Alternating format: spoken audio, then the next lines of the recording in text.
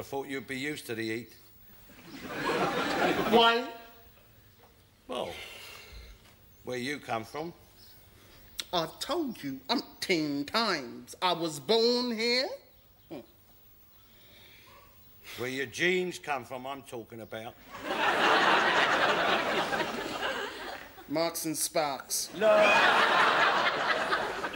you know what I mean? Funny cuts. Your past, your roots. Oh, I'd love to know your roots. Mongrel. What? Oh! Oh, it's hot, isn't it? Another party heard from it. Marvellous, eh? Few hot days, everybody's moaning.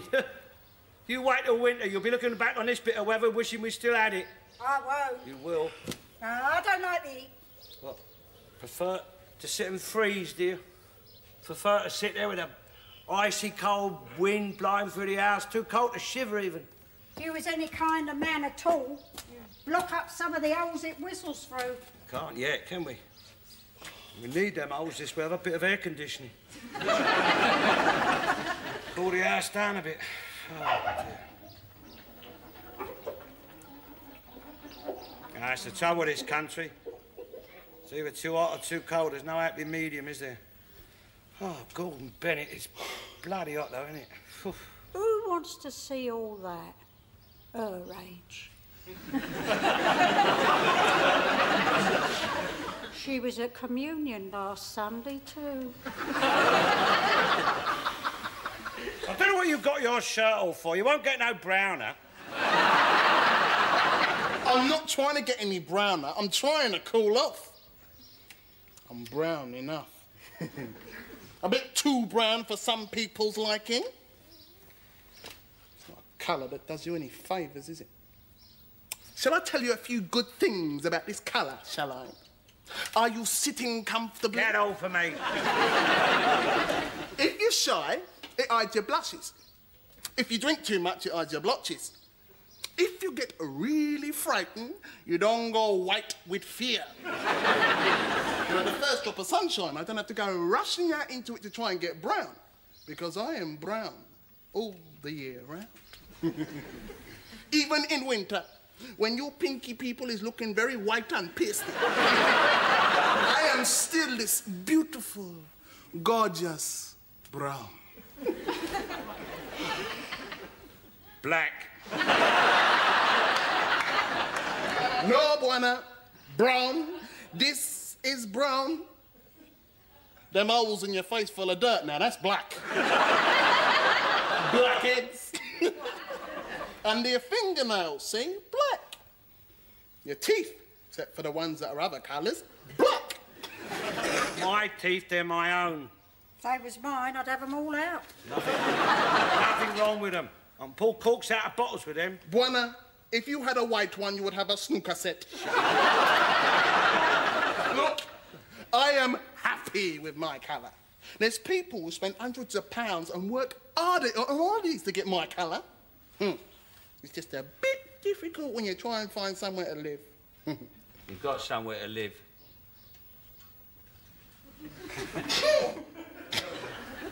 Look, if you're not happy here, I Marigold. didn't say I wasn't happy.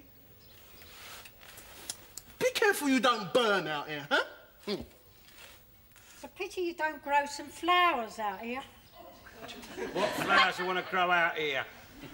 Well, anything would be better than them few stinging nettles and dock leaves you got growing over there. I've got. I look, they're yours just as much as mine. Oh, thank you. Disgusting, this backyard is. Nobody's forcing you to stand out here. If either of you was a gentleman, I wouldn't have to. Sorry, Mrs. Ollingbury. Have a seat. No, thank you. No, no. I wouldn't trust myself. No. Looks as rotten and decrepit as everything else out here. Get off. Get off. So you brought the flies out here with you? well, it's you they're settling on. Look. they wasn't here before you come out here. At least they're our own flies. What are you talking about, our own flies? Don't matter whose flies they are, do it. Well, if they're our own flies, I mean, at least we know where they've been, don't we? Silly great pudding. Flies ain't like mice. You can have your own mice, you can't have your own flies. Well, the mice are not ours anyway. Well, it's not the point, is it? No, they've come in from next door. Well, they must be bloody daft, because I ain't got nothing for them. Passing through on the way to the corner shop, I should think. Oh, dear oh Lord, it is hot. You think let's find some way of conserving some of this heat, wouldn't you? I mean, nature... Nature's not all that marvellous, is it? I mean, it's too cold in the winter, too hot in the summer. If nature was that clever, it'd spread it out a bit. Well, if God was to use a bit more common sense. If you've got to go down to DHSS, you want to get out the sun. Look, never you mind about that. You go over the road and make sure Arthur's got the beer. Go on. All right. I'll put it on ice. Party? No, we're going to watch the cricket. See, we can watch it out here because I'm going to set up an extension. You, you get yourself two brown, and the DHSS will think you're just back from your holidays in the south of France. You want to get more money out of them. You want to look all white and drawn and sickly. He does. Oh. They might think I'm an, a migrant just off the boat. Then I'll have no trouble getting money out of them, will I? They paying? Nah, nothing again. I can't understand it. It's been going on like this for weeks now. They make like they're laying, but there's nothing there. I've changed their diet. Can't understand it. They was good layers. Right, well, I'll be off. Oh, Belly.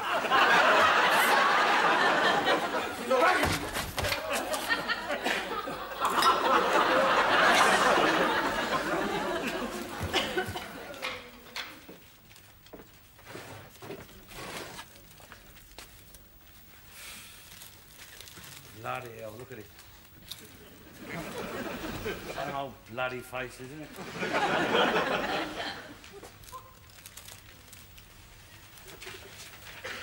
Face like a busted sofa, that one.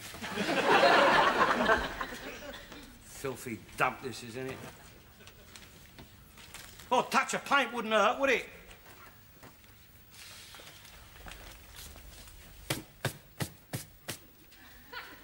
Right, you don't know who's been sitting on these seats, do you?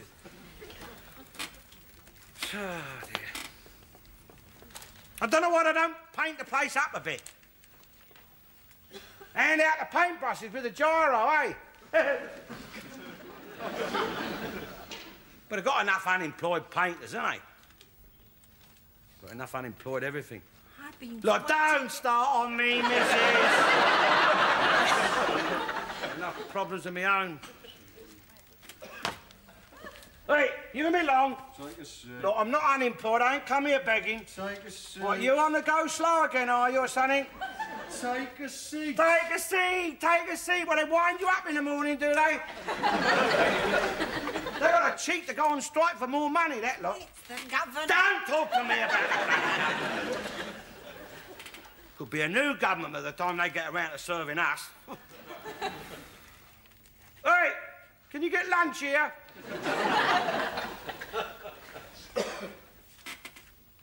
Could do with a bed here, the speed they work at. I mean, if they can't attend to you, they shouldn't invite you up here. I'm a busy man. I'm old age pension. I've got things to do. Mr. Garnett. Ready for me, are you? Just going to borrow some paper and pencil and write home. This way. Take a seat. Take a seat.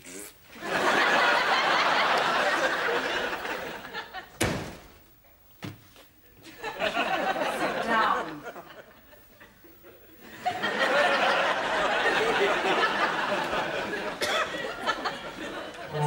How are you? We all so look forward to these visits. I've come about me money. What else? Oh, yes. We wrote to you. I wouldn't be here if you didn't, would I? Just refreshing my memory. I could do with a bit of refreshment. It's a bloody long walk up here in this heat, I tell you. Oh, with a bit of luck, this shouldn't take too long and you can be away before the pub's shut. They can stay shut for all the good I get out of them, the money you give me. You're querying the five pounds extra the government allowed for heat last winter. That's correct. But you've received that five pounds. Not what I'm entitled to, eh? Yes, you have. No, let me explain. There is no explaining to do. Yes, there is. I've checked. You've received the five pounds. Not the five pounds I am talking about. What five pounds are you talking about? The extra that I think I am entitled to for living on the end of a terrace. if you live in the middle of a terrace, you are warmer than those who live on the end of it, right? Not quite with you. People who live in the middle of a terrace are warmer because they can gain up to 1.5 centigrades of heat from the neighbours who live on either side of them. Plus another 1.5 centigrades or more from the neighbours who live beneath them. I mean, don't have to be Einstein to work that one out, do you? If you live upstairs, you are warmer than the people who live downstairs because heat rises and spreads itself out. So, those who live downstairs on the end of a terrace should be given more severe weather allowance than the others. but it's obvious, isn't it? I mean, so it follows that the more fuel that downstairs burns, the more benefit in additional heat upstairs receives and next door. So it's not unreasonable to ask that upstairs and next door should contribute to the cost of the extra heat. Both are benefiting from the unlucky sod who lives downstairs. who has to burn all that extra fuel just to keep himself warm. And that's you. That is me, right, and it ain't fair. Well, hmm. You have a point, of course. Point, point. But I'm not sure what view the authorities will take of it. Sod the authority. I'll make a note and... File it away somewhere. Have you tried lagging? Lagging? How do you think I'm going to lag? I mean, how do you expect her upstairs to let me lay lots of lagging felt all over her floor, eh? And another thing, this, this pamphlet of yours, warmth in winter, pathetic. How to keep warm in winter? Hot water bottles. And who's going to pay for the gas to hot the water to put in them bottles, eh? Answer me that. Yeah, what, what about this? What about this? Keep a well-stocked store cupboard. we ain't all Paul Gettys, you know.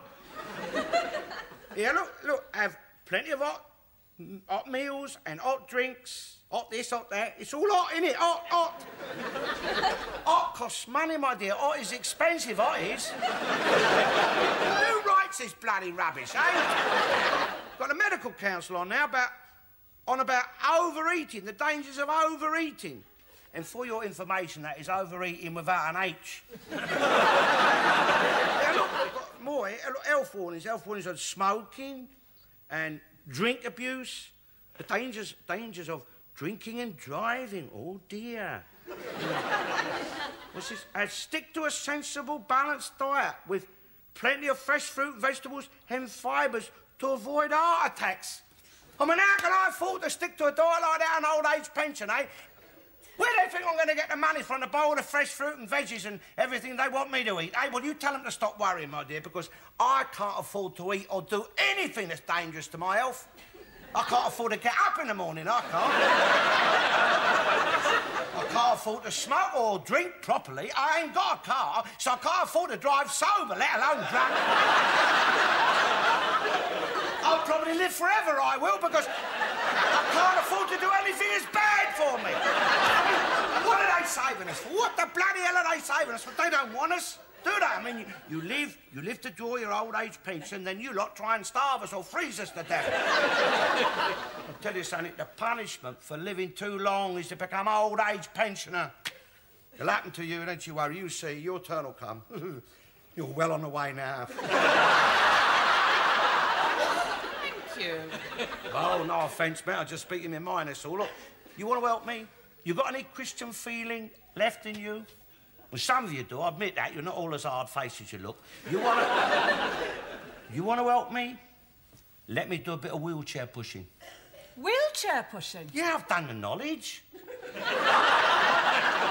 that. I've pushed my wife around, God rest her soul, for years. You know that. I know this area like the back of my hand. I can push them anywhere, anywhere they want to go. West Ham, up the pub, anywhere. Are you...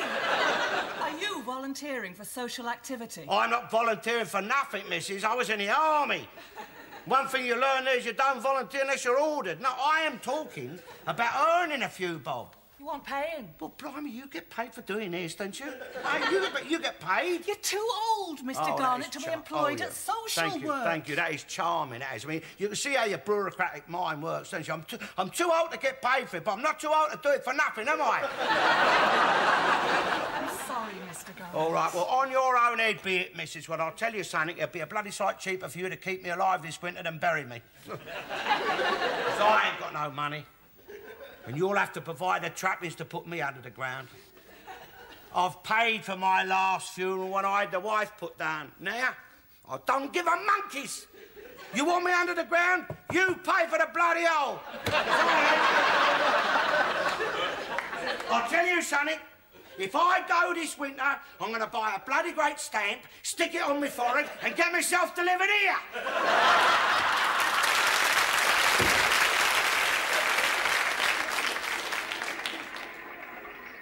Can't you watch the cricket in your house then? No, my missus hates all sport. But you're the man in the house, so. She doesn't like me in the house. she never has done. Before I retired, when I used to come home from work, she used to allow me an hour to have my supper. And she started getting edgy. Ain't you going out? All other men go out, she'd say. They sit in the pub. Why can't you? Didn't you have any children? I was never in the house long enough. now I'm retired, I, I'll sit in a room and she says, How long are you going to be sitting in that room? I go to move, she said, Don't go in that room, I just cleaned it. She's never happy till I leave the house. See, when I was working, I, it was different when I was working. I had somewhere to go, you see. I was out all day. Now I go in the park or the pub or the library. It's not so bad when the weather's fine. But what do you do at night? I mean, after the pub's closed, you must go home at night. Oh, she's not too bad then. As long as she knows there's nowhere else I can go. she puts up with it. Didn't you ever think about divorce? Hmm? No. Never no need, really. Well, see, in a way, we. Well, we were suited. Hardly ever a cross word. Well, not from me. You never hardly meet. Just as well, I suppose. She, she's a good woman. A bit hard to get on with, I would say. But, you know, I mean, if I had to criticise. Oh, God, there's another one out. This is jolly fine cricket, jolly fine cricket. It's a very fine side the Pakistanis have. And Imran Khan. Oh, the a prince among cricketers. Where is Mr. Garnett? He should be here to see this. Yeah, he'd be well pleased. He likes cricket and football. Yeah, he enjoyed the Falklands too. This is very fine cricket. He would like this. It's a shame he is not here. Does he know that you're here? It will be a surprise. Mrs. Hollingberry invited me. She said, come and watch cricket. We have television in backyard and some very good beer. I do not drink beer. I am teetotaler. But I am enjoying British custom. oh, oh, another one out! Another one out! Oh, this is, Mr. Garnett is missing very fine cricket. What's this, the League of Nations? Mr. Garnett, you're just in time. This is a very fine game of cricket and it's not over yet. Who said it? Mrs. Hollingberry. Oi, Sabu. Mr. what- Garnett, I brought you some of your favorite tobacco for being most kind to allow me to watch such very good cricket. Oh, Well, aren't you going to say thank you? yeah, well, thank you. This is a very fine game, Mr. Garnett. It's a pity your team is playing like. What you say, Marigold? Uh, like a load of wallies. but never mind. They are losing in English style. Very graciously. Oh, oh, another one out! Oh, oh, oh, this is very good cricket. Cricket! What? Nothing else is on. Cricket! A terrible game. Football. Why is there no football? If it was football, we would beat them. Why is it not football? Who invited him? Nobody. He just walked in and sat down. Oh, oh, oh, another one out. Oh, this is very good cricket. Hey, hey, that was never out. That was never out. He cheated. Hey, look, look. Both of them knows. Yeah, both of them is telling him. Go on, whack him one. Go on. Go on, Ian, clout him, bloody coons. The... oh, I mean, that's not cricket, is it? I mean, if you can't win fair. We will win fair. We are winning fair. Like that, cheating like that. Imran Khan is not a cheat. Yeah, well, it's the game is the important thing, isn't it? Not who wins. Play the game. That's the British way. That's the Pakistani way too. We are playing the game. Better than us, that's all. Us? us? Where'd you get the us from all of a sudden? hey? We beat your lot out in Australia, mate. That is my lot getting whacked by the Pakistanis. Oh, yeah, oh, yeah. And who was you shouting for when we played the West Indies? Who was your lot then, eh? Answer me that. Go on. I felt very deeply for England's loss. One allow. but I am a sportsman. I must applaud superior cricket. You're a bloody turncoat. That's what you are. Get out of my chair. Go Here on. it is, Mr. Cattell. Wait, here. He wants to know if you sell eggs. Oh, no, I do not. I do not sell eggs. Oh, well, I'll have to go up the high street then. I mean, my wife, she loves her eggs and me chickens are not laying. I mean, when they was laying, we had all the eggs we want. I'm a bit out of touch where to get them. Fresh eggs, I mean. Ask Mr. Garnett. He gets lovely eggs, he does, from somewhere. really fresh they are, with muck and feathers stuck all over them. Wonderful big yolks. Yeah, he let me have a couple. Yeah, ask him where he gets them from. Mr. Garnett? Shut up. I'm trying to watch cricket, all right? Eggs are not good for you. Eggs is too much cholesterol. Your wife should try to live without eggs. I do not sell eggs. But if you want to buy eggs, I will sell eggs. Chickens are better. I do not sell chickens. I got chickens. So kill the chickens and make soup. Chickens make better soup than eggs. You know, in the old country, my mother's sister, my auntie, she had two chickens. One got sick, so she killed the other one. She made soup. She fed it to the sick one. In no time, it was running around like a, a two-year-old. a good chicken soup is health-giving. He's sound, though. I wonder what he's dreaming of. Well, it's a happy dream. Yeah. He'll be off somewhere enjoying himself. And a dramatic moment here at Lord's. We've found a really remarkable batsman. I don't know where they got him. They've tried everything. They've tried speed, they've tried seam, spin. He just needs 10 now to make 400 runs, individual runs. He looks quite calm. And there it is, going through extra cover. And that's going to be four. Yes, a magnificent four through extra cover. And the crowd standing up to him. Must be feeling a bit nervous, just doing a bit of guarding there. And he's only got one pair. Must have left that one in the pavilion. But uh, he's uh, looking very calm. Just needs six for 400 individual runs. And there's the bowler, Jackson. Very fast bowler. Will he try and stop this 400? 394 now. And here he comes in now. And this is it. It's a six. Is it going to be? Yes, the six up into the corner of the grandstand. And he has made 400 runs here. A feat never achieved before, applause. Acknowledging the cheers of the crowd. Lost a little hair in the process. But what a magnificent cricketer this man is. And so modest and lovable.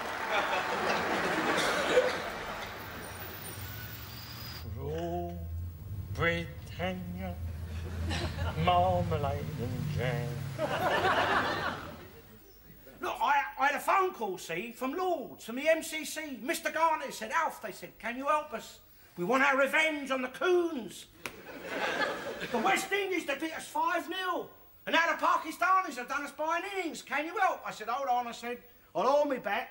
I'll get me pads. I'll get a taxi. I'm straight down to Lords. I'm opening the batting for England. I scorn the use of a protective helmet in a box. First ball. Imran Khan, he comes thundering in. Bang! Wallop! Eight. Six, they said, come on, first. Said, this worth more than six. To get a taxi, fetch the ball back. Next ball. Wallop, out the bleeding ground. They're going mad, the crowd. All the coons are yelling, go home, you bald-headed honky bastard. go on, bounce one off his bald nut, they say. Next ball. Wallop, right in amongst them. Woo-hoo.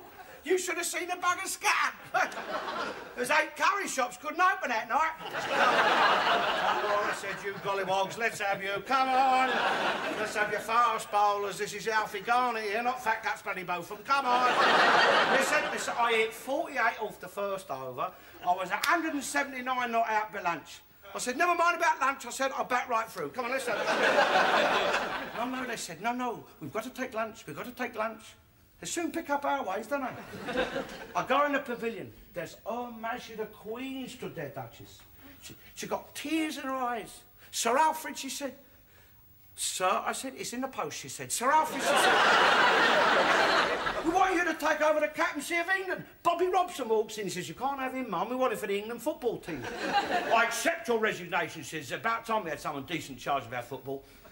I left them arguing a toss. I go out, I'm opening the bowling for England. First ball, first ball, Gordon Greenidge. Brave man for a darkie. He comes onto the front. He attempts a cover drive. Bang! I broke his back. I left him holding the handle. Who he says, look what you've done to my back. I said, have a look behind you, Sambo, see what I've done, you bleeding stumps. Next ball, Desmond Ames. What a LBW, you won't forget that day in Harry. I broke his leg through the bleeding pants. I put an end to his limbo dancing, wasn't it? Next ball, Viv Richards, West Indies captain. He stood there, he seen me come charging in. I tell you, he's trembling like a leaf. He's turned white with terror, yes. well, white as a coon can turn. I'm on my hat trick, I'm on my hat trick. You know, all the girls are there, they're all going mad, they're yelling, Alfie, Alfie, we want Alfie. They're all there, Raquel Welch, Myrna Lloyd, Joan Collins.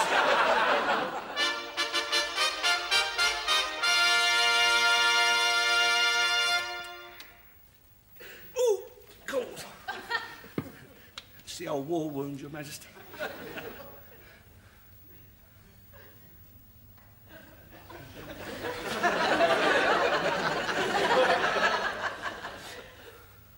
Thank you. I could stay tea. I'd like to stay at tea, yeah. Will Philip be there? I like his manner. He's a man after my own heart, that is.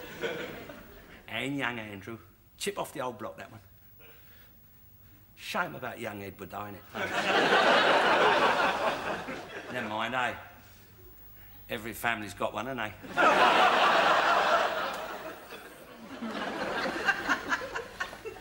oh. Yes, Your Majesty. Yeah. oh, I would like another drink. You'll get me tiddly? Mr. Garnett, wake up, Mr. Garnett. Here's a cup of tea. Sir Alfred?